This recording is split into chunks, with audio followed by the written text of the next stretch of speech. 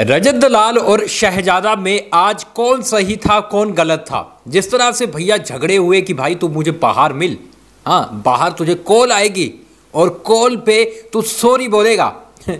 शहजादा ये रजत को बोलता है। रजत पहले बोल रहा था कि भाई तू बाहर मिलना। अब वो कहता कि भाई मुझे तू उस बाहर का बोल रहा था तो मैंने उस बाहर के हिसाब से रिप्लाई दिया। मुझे नहीं पता था कि तू इस बाहर का बोल रहा है। लेकिन रजत बोलता है, कोई बात नहीं बेटा कोई बात नहीं, जवाब मिलेगा तुम्हें। मैं कुछ नहीं बोलूँगा अभी। तो यहाँ पर जिस तरह से इतना बड़ा मैटर हुआ है, किसकी गलती है भैया? चलिए अपन इस पर बात कर लेते हैं। लेकिन अविनाश अब तक बढ़िया खेल रहा है और एक बंदा मतलब कि जेल में बैठकर पूरे घर को तहलका मज़ा रखा है, उसकी ही बातें हो रही है। सोचिए, जेल में बैठकर वो बंदा पूरा का पूरा गेम कंट्रोल करके बैठा है। लेकिन अभी जो उसने किया ना कि खाना नहीं मिलेगा पूरी रात, वो गलत किया। ठीक है नॉमिनेशन हुआ है, लेकिन तुम किसी को भूखा नहीं मार सकते। ये गलत चीज़ की है, ये उसकी थोड़ी सी मुझे गलत चीज़ लगी है। खाना दे देते, तुम पर्सनली जाओ, जहाँ तक लड़ सकते हो। तुम अगली बार उसको भी नॉमिनेट करो जिसने किया है। लेकिन खाने के साथ क्यों दुश्मनी निकाल रहे हो ना? उनकी।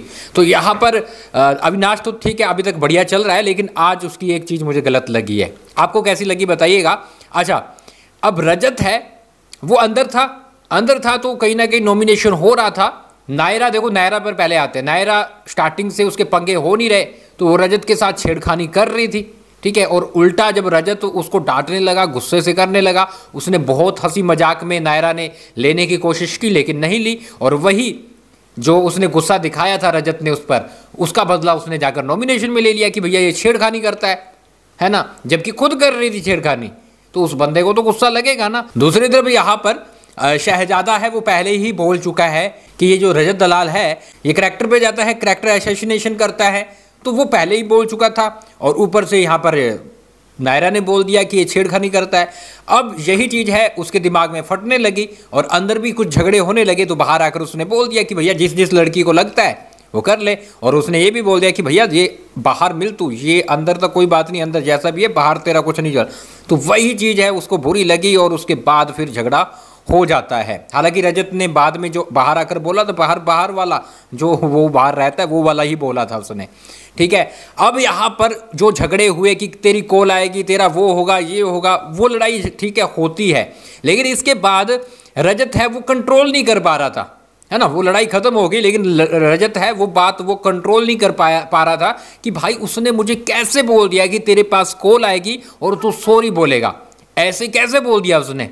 क्योंकि यहाँ पर रजत बाहर, आपको पता है, अगर आपने उसे बाहर देखा होगा तो बाहर लोगों से सोरी मंगवाता है वो। तो उसको वो चीज़ अंदर ही अंदर दिमाग में खाई जा रही थी, वो पानी डाल रहा था सर पे, है ना? वो गर्म हुए जा रहा था कि भैया बाहर तो लोग मुझसे सॉरी बोलते हैं और ये मुझे धमकी दे रहा है कि तुझे सॉरी मांगनी पड़ेगी। तो ये बात वो सहन ही नहीं कर पा रहा था। कभी इसको बोल रहा है, कभी उसको बोल रहा है तो जाकर वो बाद में उसके सामने भी बोल देता है कि ठीक है, मैं वेट करूँगा, बाहर निकल के बताते हैं क्या होता है। तो देखो, रजत लाल भाई बात सुन, ठीक है, अभी तक ठीक है, आप अच्छे चल रहे हो, लेकिन ठीक है यार कंट्रोल करो यार ये सब चीज़ों को। वो जैसे करण बोल रहा था कि तू बोल दे कि मेरे पास फ़ोन ही नहीं है, है कहाँ से कॉल आएगी? तो यहाँ पर इस तरह से भी चीज़ें कंट्रोल की जा सकती है। ये पूरा सीज़न चलने वाली है रजत भाई। तो यहाँ पर आप ठीक है जो भी करना घर में करो लड़ाई दंगे जो भी करो लेकिन इतना भी मत लो कि भाई बाहर उसने क्या बोल दिया मेरे लिए क्या करेगा? तो इतना भी हाइपर नहीं होना है रजत भाई। थोड़ा कूल डाउन रखो और ऐसे में रजत को कहीं ना कहीं आज थोड़ा सा ज़्यादा लगा है और ऐसा लगना ही वाला है क्योंकि बंदा बाहर ऐसे चीज़ें करता रहता है तो उसे फिर फील तो होगा ही, वो बाहर नहीं कंट्रोल कर पाता तो अंदर कैसे करेगा। फ़िलहाल गाइज़ मेरे हिसाब से यहाँ पर दोनों की ही गलती थी, ठीक है, यहाँ पर शहजादा है, उसे कंटेंट चाहिए था। वो बोल रहा था कि मेरी लड़ाई हो नहीं रही थी अभी लड़ाई हुई है। तो उसको कंटेंट चाहिए था उसको कंटेंट मिल गया। ये रजत को थोड़ा सा बुरा लग गया कि भैया मुझे ज़्यादा बोल दिया।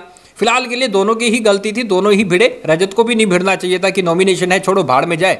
मैं जब मेरी बारी आएगी मैं अगली बार मैं इनको नॉमिनेट कर दूँगा बात खत्म।